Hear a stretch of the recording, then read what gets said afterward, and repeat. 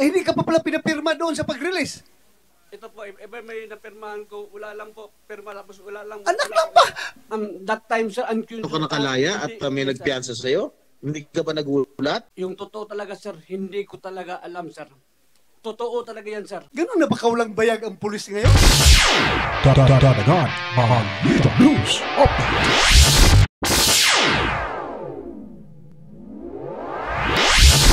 If I may, Alabata, uh, Mr. Chair. Yes. Uh, alam nyo, as much as possible, I really do not want to uh, to move to cite anybody in contempt. Kaya lang talagang napipilitan ako. I will give you one last chance, uh, Sergeant uh, Alabata. Kasi pagka ikaw eh tuloy magsinungaling dito sa committee to, I will really be forced uh, to cite you in contempt like what I did last night dun sa isang kasama mo pulis. Kaya we are here in this committee hearing to ferret out the truth, nothing but the truth. Kaya kung, kung pwede, sagutin mo ang ang matanong ko uh, itong committee to, itong committee nito ng buong katotohanan. Okay? Um, number one, sino ang nagpiyansa sa iyo? Yung totoo talaga, sir, hindi ko talaga alam, sir. Totoo talaga yan, sir. Hindi ko talaga alam. Totoo talaga yan.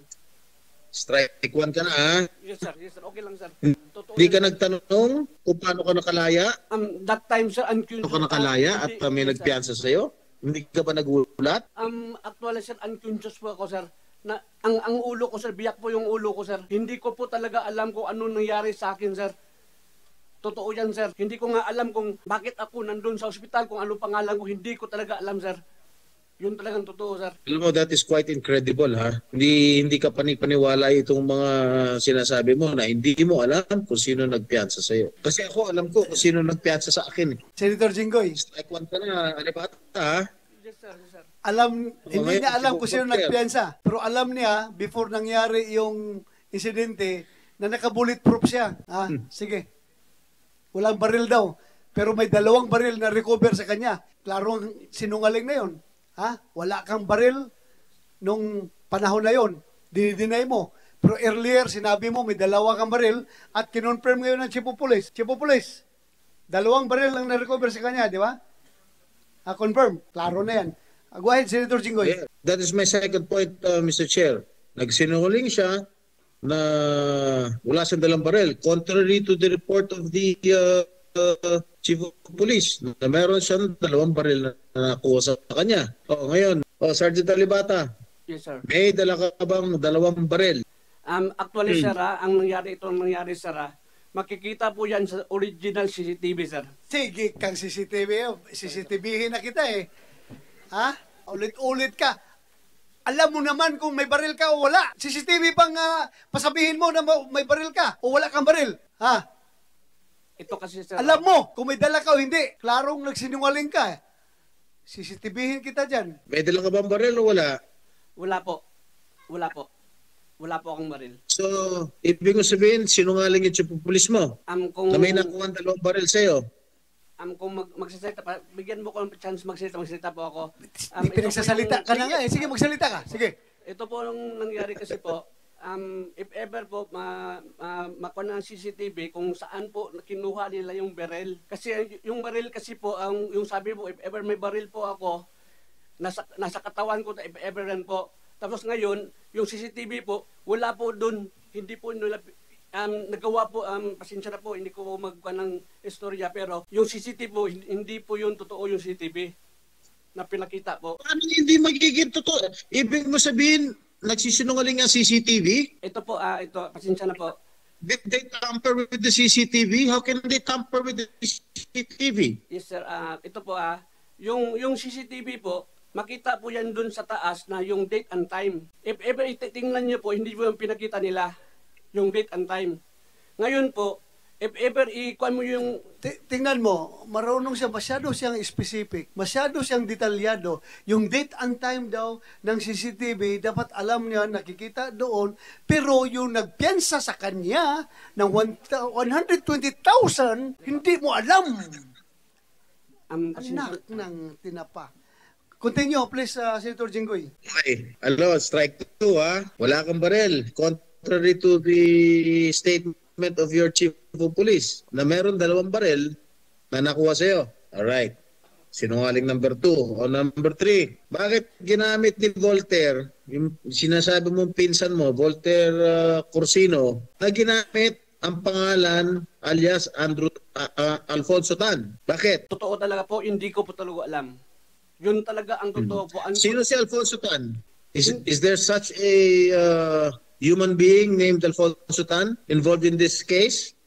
Ngayon po ang ang case po sa akin, ang ang ang nangyari po ang ang si um, lumabas na Alfonso Tan po, that time hindi ko talaga po alam. Hindi ko alam kung si, sino yan, sinong Alfonso Tan yan, hindi ko po alam. Nangyari yan po. Ma- makinig ka, sandali ha. Yes sir. Yes sir. Alam mo, matagal na akong pulis, di ba? Yes, sir. Kilala mo ako. Yes, sir. Si PNP ako, di ba? Yes, sir. Nag-investigator din ako. Pero yung pananagot mo yan, ang, ang, ang, ang, ang, ang, ang, ang, ang, ang, ang, ang, ang, ang, wala na, tapos ka na. Sorry po sir. Tikok ka na!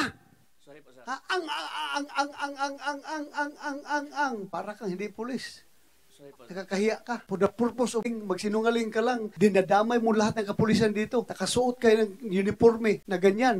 Nakasuot ka ng tsapa. Tapos puro pagsisinungaling ang ah, gusto mong sabihin dito. Nakakahiya ka. Nakakahiya ka. Ha? Puro sinung kasinungalingan. Please continue, Senator Jinggoy. Thank you, uh, Mr. Chair. Okay, Staff Sergeant Alibata, nung pinyansahan ka in a short period of time, halagang 100,000 plus, under the name of Alfonso Tan, hindi ka ba nagulat na bigla kang, bigla kang nabigyan ng piyansa? Hindi ka man lang ba nagtanong kung sino nagbigay sa'yo ng piyansa? Hindi po. Ang ah, actually po ah, ito po, yung paglabas ko na, ma- na may nagpiyansa sa akin, hindi ko pa talaga po alam kung sino yung nagpiyansa sa akin. Okay, hindi hindi ka ba nagulat at ang bilis ng ang bilis mo nakapagpiyansa? Hindi ko po hindi po ako nagulat po Dahil kasi ako hindi ko po alam. Dahil sa, sa ordinaryong kaso, even sensationalized cases, matagal ang ah, pag-grant ng bail ng husgado. Sa iyo, it took only how many weeks? Marami mga sensationalized cases dyan. It will take them a year or two for the court to grant them bail. Pero sa iyo, Less than, only less than one month. Less than one month. weeks, less than a month, using a fictitious name by the name of Mr. Alfonso Tan. E niligawan mo pa yung korte. Hindi ko po talaga alam Mistaken identity.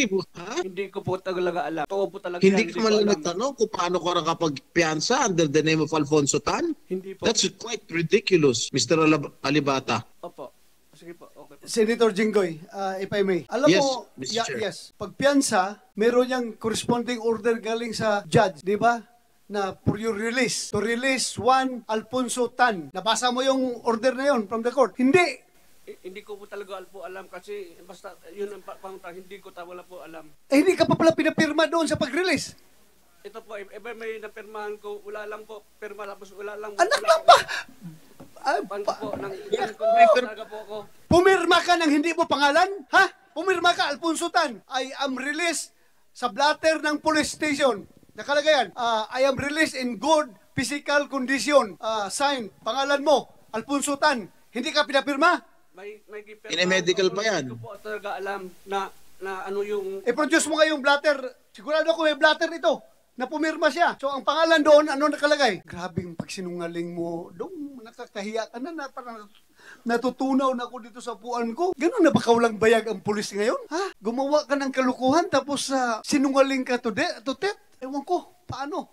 Bakit ka Nung, pina, nung pinapiansa ka ba, Alibata, did you undergo a medical check-up? SOP yan. Nung binigyan ka ng piansa ng husgado, did you undergo any medical check-up? ang ang ang sa natpan ko po, doon lang po ako sa um sa kuan sa police station lang po. Hin- Hindi po ako napunta ng Hindi um, kami medical check-up. Protocol yun. SOP yun. very clear na ito, uh, Senator Jigo, masasayang oras natin ito. Please, uh, you make the sige. necessary motion. Okay. Since uh, the uh, police staff sergeant Alibata refuses or doesn't know how to answer, refuses to answer my questions, and I think he has selective memory, I'm forced to uh, cite this uh, person in contempt, Mr. Chair. Can I move that we cite him in contempt? There is a motion to cite in contempt Police Staff Sergeant Noel Alabata. Is there any objection? Hearing none, the motion is approved. Sergeant at Arms, uh, Staff Sergeant Alabata is uh, cited in contempt. Therefore, you have to take uh, physical custody of him. Pakainin nyo yan, ha? ha? Huwag ninyong gutumin. Kasakaling maalala niya yung mga nangyayari, Mr. Chair. Baka ma- maalala niya habang nasa loob siya ng kulungan ng uh, Sergeant at Arms. Uh, Mabilis lang po, sir. Diaz, ah, Two things lang po, Mr. Chairman. Sir, like any other police, sir, baka, sir, takot din siya sa life ng family niya, sir, si Alabata. Baka takot siya sa life ng family niya din. First ang reason. Second, sir, sa pagtanong, yung lawyer niya sa Dumaguete, ang counsel is Iramis, sir. Iramis. Father ng counsel ni Pipino Danina. Tapos, pangatlo, sir, ang band person, sir, makita naman yun yung band person. Yung sino yung nagbaban doon. Yun lang sa amin, sir. Baka yung maano pa natin siya, sir, baka takot lang siya talaga, sir, sa pamilya niya. Sige, yun sige. din ang mga ibang pulis, sir. Takot Yeah. din ano mangyari sa at mapanood ang mga mainitang mga balita, huwag kalimutan i-follow ang page na ito para updated ka sa mga kaganapan sa ating lipunan. Tatanaka!